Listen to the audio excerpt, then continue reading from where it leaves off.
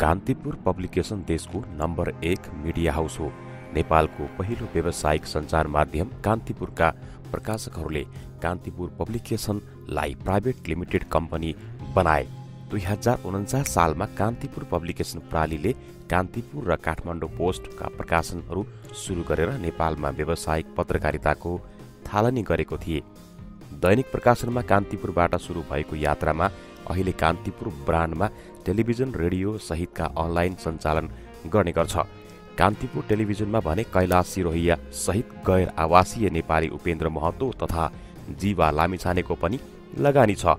त्यही कैलाश सिरोहियाका छोरा हुन् उद्यमी सम्भव सिरोहिया। दुई हजार उन्चास सालमा जन्मिएको कान्तिपुर भन्दा दुई वर्ष जेठा हुन् सम्भव सिरोहिया। बुबा कैलाशको नेतृत्वमा कान्तिपुरको साबिक कामलाई उनलाई सीमित हुन मन लागेन। उनले नयाँ बाटो रोजे कान्तिपुर बाइसौँ वर्ष प्रवेश गरेको अवसरमा सात फागुनदेखि सञ्चालनमा आएको कान्तिपुर डिजिटल कर्पमा उनी प्रमुख सञ्चालन अधिकृत भई कार्यरत भए। कान्तिपुर डिजिटल कर्पले कान्तिपुर मिडिया ग्रुप अन्तर्गत सबै मल्टिमिडिया अर्थात् मिडिया ग्रुपको मोबाइल एप्लिकेसन केएमजीदेखि अनलाइन संस्करण कान्तिपुर समूहको प्रवर्धन गर्ने युट्युब ट्विटर फेसबुक जस्ता पेज सामाजिक सञ्जाल सबै यी इत्यादि कामहरू डिजिटल कर्पले हेर्ने गर्छ।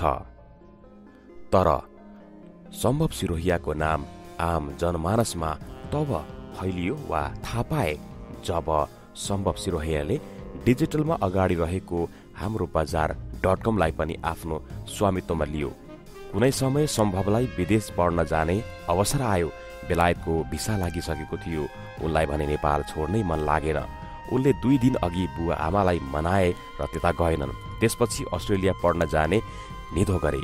गए पनि तर छ महिनाभन्दा बस्न बढी मन लागेन।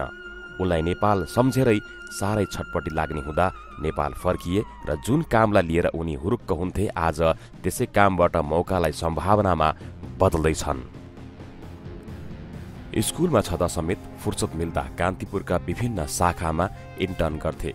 मार्केटिङ इन्टर्न गर्दा उनलाई क्लिक भयो। यो क्षेत्र अरूभन्दा रमाइलो लाग्यो। भविष्यमा जे गरे पनि यही क्षेत्रमा गर्छु भन्ने आत्मविश्वास बढ्यो। उनले इभेन्ट म्यानेजमेन्ट कम्पनी पार्टी नेपालमा केही समय काम पनि गरे। सम्भवलाई लाग्छ सूचना प्रविधिमा नेपालमा अथाह सम्भावना छ। उनी सूचना प्रविधि र मार्केटिङलाई एकै साथ लैजान अभियानमा छन्।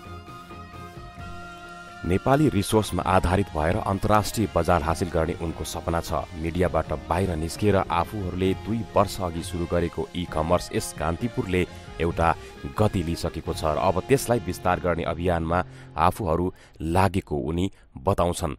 उनको दीर्घकालीन सोच नेपाली उत्पादन विदेश निर्यात गर्नु नै हो। Sambhav Sirohiya movers and shakers holding प्रालीका CEO हुन्। सम्भव स्वर सिरोहियाको जन्म जुलाई आठमा भएको थियो। उनको जन्म वर्षको बारेमा खासै केही स्पष्ट जानकारी त प्राप्त भएन।